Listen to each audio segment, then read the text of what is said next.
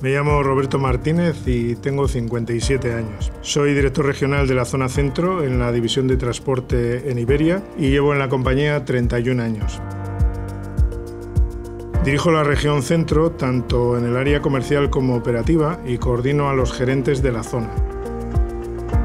Pasión. Pasión es la palabra que mejor define mi trabajo en XPO.